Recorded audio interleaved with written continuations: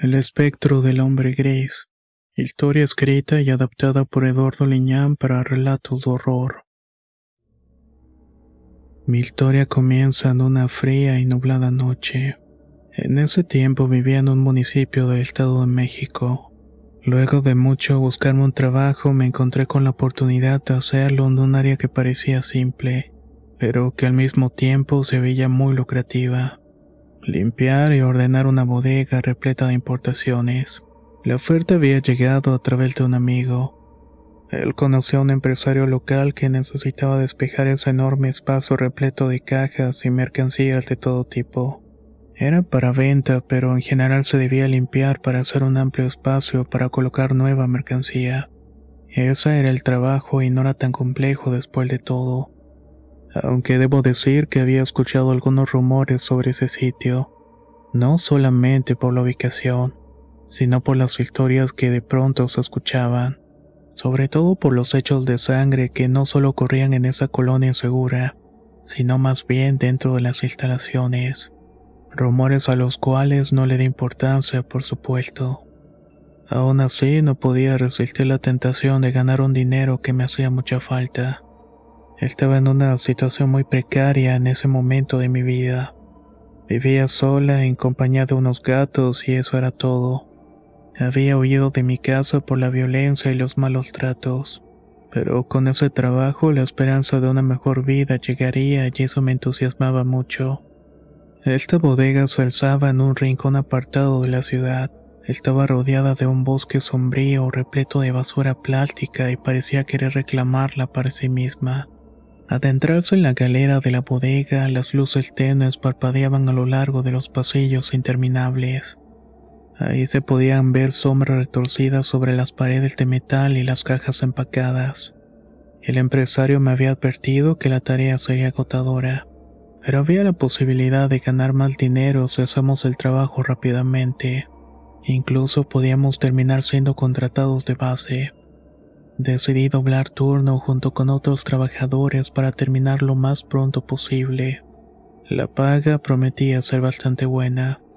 La primera noche transcurrió entre el sonido de cajas siendo arrastradas, el crujir del plástico siendo rasgado y la sensación de trabajo constante. Había un ambiente de camarería entre los trabajadores, lo cual hizo que la tarea pareciera menos pesada. Sin embargo, conforme avanzaba la noche, algunos de mis compañeros comenzaron a retirarse. Me dejaron sola en medio de esa inmensa bodega y en un área donde tenía que limpiar a profundidad el piso y las estanterías. Decidí quedarme un poco más para aprovechar el tiempo y ganar más dinero. A medida que mis compañeros se fueron retirando, una sensación extraña comenzó a invadirme.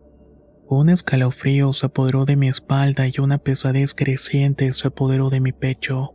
Intenté ignorar esos sentimientos y continué con mi trabajo, pero una inexplicable inquietud no me dejaba en paz.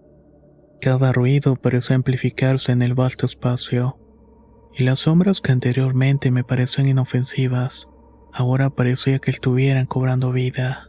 Se retorcían moviéndose por las paredes de lámina, como si fueran seres invisibles observándome detrás de los cristales y las cajas apiladas. Mi corazón comenzó a latir con fuerza mientras que mis manos temblaban al momento de recoger los últimos trozos de basura. Fue en ese momento cuando escuché un susurro apenas perceptible, como si alguien estuviera murmurándome algo a la espalda. Me giré bruscamente, pero no había nadie. Traté de convencerme de que era solamente mi imaginación jugándome una mala pasada. Pero la sensación de estar siendo observada persistía y ahora el aire parecía más tenso como si hubiera algo más en la bodega conmigo. Intenté de algún modo acabar con esos sentimientos y cortar el silencio sordo que dominaba el espacio con la música del teléfono. Ahí las luces parpadearon después de un repentino relámpago que anunciaba una tormenta. Sentí algo de ansiedad pidiéndole al cielo que no se fueran las luces. No quería quedarme en total oscuridad, al menos no ahí. El camino a la salida y el almacén donde guardaba mis cosas de limpieza estaban lejos. Había que recorrer mucho tramo entre la oscuridad y las sombras. La mayoría del personal ya se había ido. Solamente un puñado de trabajadores nos quedamos para terminar más rápido las zonas que nos iban a tocar. pero la mía era por mucho la peor, no solamente por lo sucio, sino por el cúmulo de emociones negativas que empezaron a envolverme desde que llegué a ese sitio. Así que ante la inminente tormenta y todos los problemas que iban a acarrear apresuré mi trabajo. Doblé y apilé las cajas sin detenerme. Cada vez que miraba hacia un rincón oscuro sentía que algo se estaba moviendo. Algo que no podía ver pero que podía sentir acechándome. Mi mente comenzó a jugar trucos conmigo. Me mostraba sombras que parecían moverse de forma independiente. El silencio de la bodega solamente se interrumpía por el sonido de mis respiraciones agitadas. En eso estaba cuando ocurrió lo que tanto temía. El repentino corte de luz dejó lugar sumergido en una oscuridad más profunda. Mientras tanto el estruendo del rayo resonaba en mis oídos. Era un grito amenazante de la naturaleza misma. El grito colectivo de mis compañeros reverberó en el espacio mezclándose con la tensión y el miedo. La situación se volvió todavía más caótica y confusa en medio de aquella oscuridad. En ese momento los ecos de las voces se perdían entre los pasillos y las cajas. Desesperada por encontrar algo de luz en aquella negrura asfixiante, encendí la linterna del teléfono. Su débil resplandor apenas lograba disipar la oscuridad inquietante que rodeaba cada rincón de la bodega. A su vez, la música tenue que emanaba de mi teléfono era como un intento desesperado de normalizar la situación, de romper la tensión que parecía querer estrangularme. El frío que ya era evidente en el ambiente comenzó a incrementarse de forma alarmante. Las ráfagas gélidas parecían surgir de la nada haciéndome temblar hasta los huesos. Incluso se me había erizado la piel. Mis temblores ya no eran solamente por el miedo, sino también por la sensación de una helada sobrenatural que se había apoderado de la bodega. Y en ese angustioso momento el aliento condensado a pocos metros de donde estaba me dejó casi inmóvil, mientras mi mente luchaba por comprender qué era lo que estaba pasando. Mis labios temblorosos apenas lograban articular las palabras para preguntar quién estaba allí pero mi voz sonaba pequeña y frágil en medio de toda esa oscuridad. La única respuesta que obtuve fue el sonido de una respiración agitada, una respiración que no era la mía. El pánico se apoderó de mí, como si todas las piezas de una pesadilla hubieran cobrado vida, y estaban convergiendo en ese momento preciso. Mi instinto me gritaba que escapara, pero la oscuridad me pareció un obstáculo insuperable. Retrocedí con lentitud, manteniendo la linterna enfocada en la dirección de la respiración, como si de alguna manera esa luz pudiera ahuyentar a lo que fuera que estaba ahí. Cada paso que daba era como moverse a través de un campo repleto de miedo. Mi corazón latía tan fuerte que pensé que me quedaría muerta de la impresión, y esa figura que apenas percibía comenzó a tomar forma.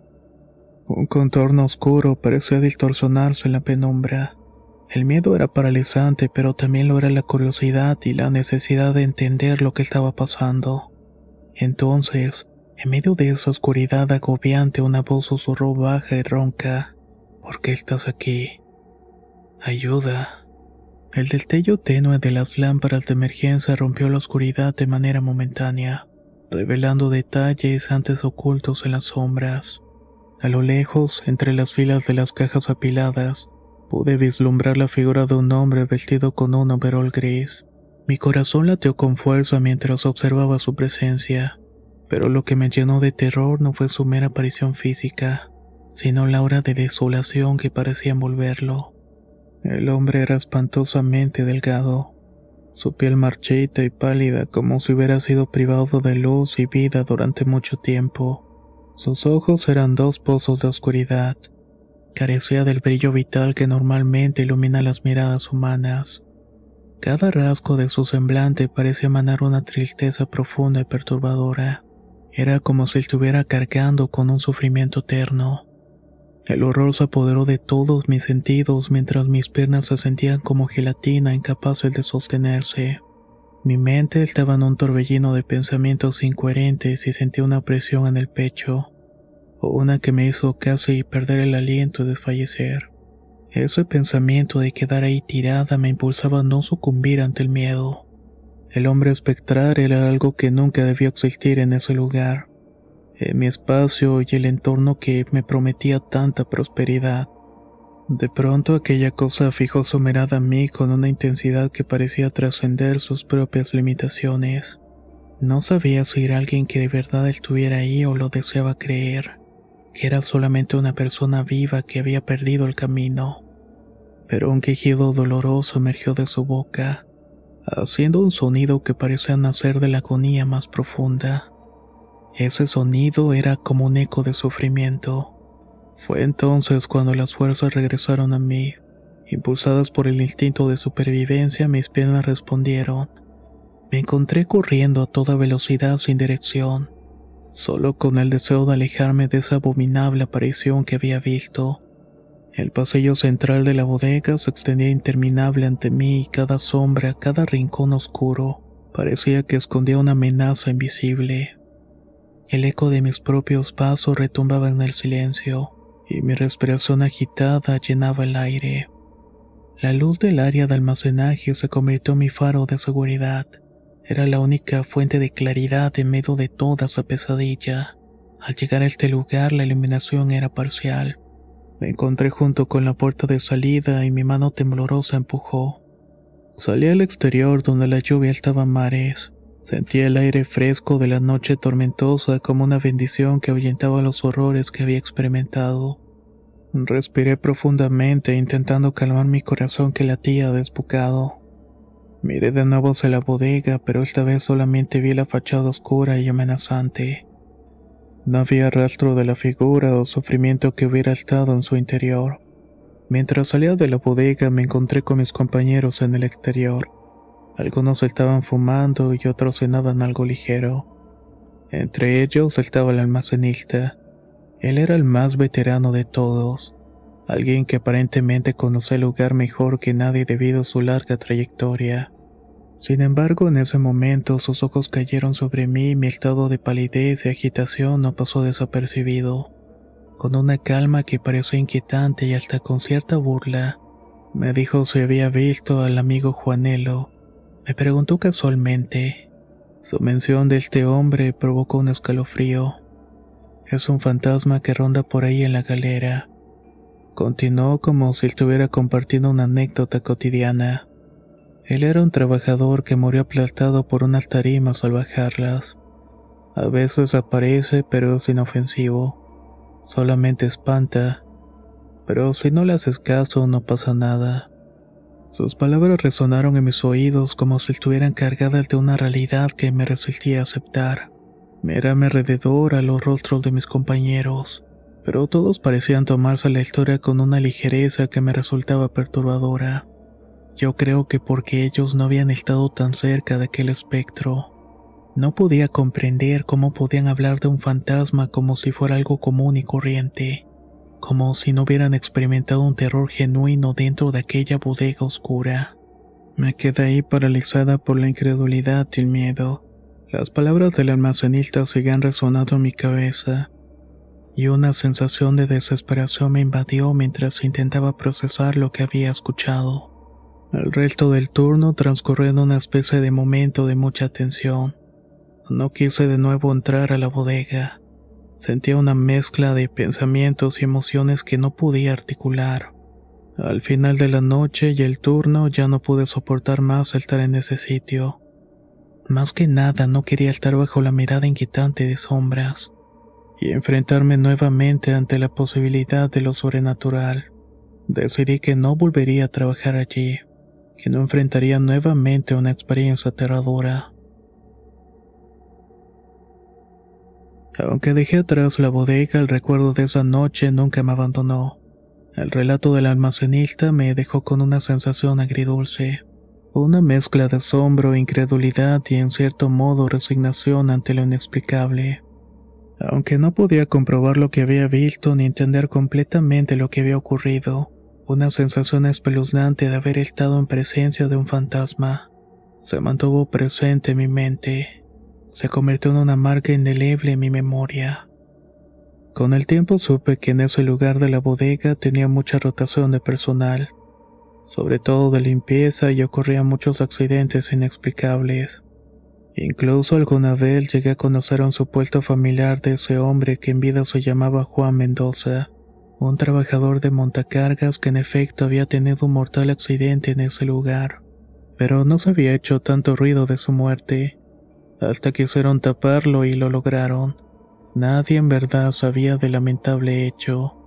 Al hilar los eventos me di cuenta que todo tenía cierto sentido macabro, como si el espíritu del hombre accidentado no pudiera descansar en paz por no haberle hecho justicia.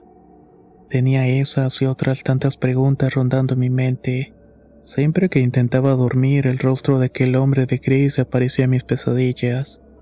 No recuerdo cómo es que para liberarme de todo eso tuve que mandar a hacer misas e incluso regresar a ese lugar horrendo de la bodega. Lo hice para dejar una veladora y pedir por el descanso eterno del señor Juan Mendoza.